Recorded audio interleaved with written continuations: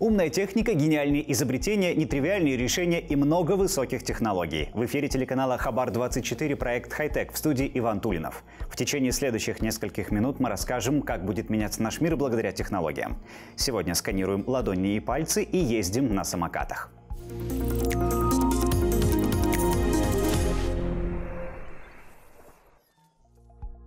3D-биометрическая аутентификация. На современных смартфонах широко используется биометрическая идентификация по отпечаткам пальцев или путем распознавания лица.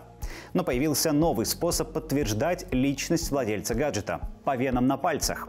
И он может в ближайшем будущем совершить революцию в разработке систем безопасности смартфонов. Технология разработана в университете Баффало в Нью-Йорке.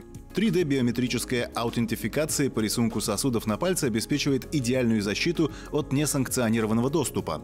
Не выйдет использовать муляж, фото или другой метод взлома. Для формирования объемной модели кровеносной системы кончиков пальцев применяется фотоакустическая томография – метод визуализации, сочетающий свет и звук. Свет от маломощного лазера освещает пальцы, а когда он попадает на вены, генерируется звук, он затем распознается ультразвуковым датчиком. Из полученных данных формируется трехмерное изображение вен. Дело за малым — создать систему достаточно компактную, чтобы размещаться в смартфонах.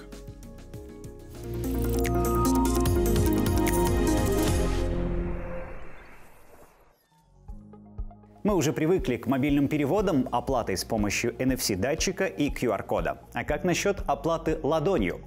Amazon One – это новый сервис бесконтактной оплаты, и ладонь в нем – основной способ передачи денег. Кроме платежей, его можно использовать для всего, что требует аутентификации, например, для входа на стадион или предъявления карты лояльности. Но первым местом, где его можно применять, станут некоторые магазины Amazon Go, где, как известно, нет ни продавцов, ни касс. Чтобы начать использовать Amazon One, потребуется пройти процесс аутентификации. Надо вставить банковскую карту в устройство Amazon One, затем удерживать ладонь над ним и следовать инструкциям, пока не создастся уникальная подпись ладони. После регистрации можно смело заходить в магазины Amazon Go и оплачивать покупки, просто подержав ладонь над устройством в течение примерно секунды. По словам представителей Amazon, нет двух одинаковых ладоней, поэтому сервис безопасен. Компания также заявляет, что позаботилась о безопасности данных пользователей. У устройства Amazon One есть несколько уровней защиты. Изображения ладоней клиентов не хранятся на самом устройстве, они зашифровываются и отправляются на безопасное облачное хранилище компании. Клиенты смогут удалить данные, если захотят. Примечательно, что для регистрации не нужна учетная запись Amazon. Достаточно кредитки и номера мобильного телефона.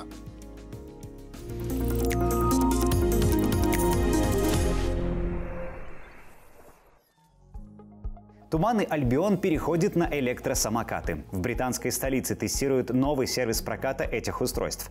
Так власти хотят решить две проблемы. Во-первых, снизить нагрузку на общественный транспорт. Во-вторых, сделать так, чтобы соблюдался режим социального дистанцирования. Это проще делать, если передвигаешься на самокате, а не в заполненном людьми автобусе.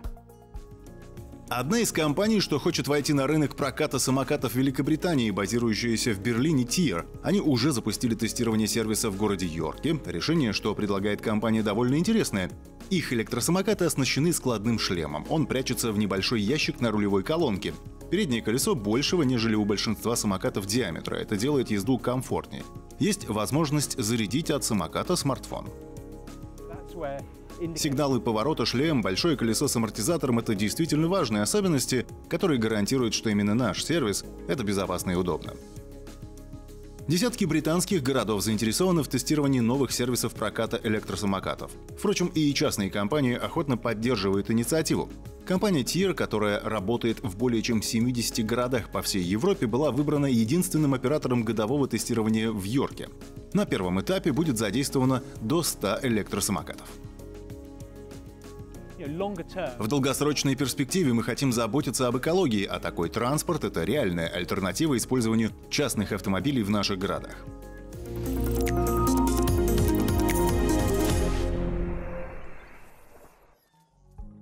Создавайте новые и пишите на нашу почту. Рассказывайте о своих проектах. Мы покажем их в эфире. На сегодня все. Смотрите хай-тек. До встречи.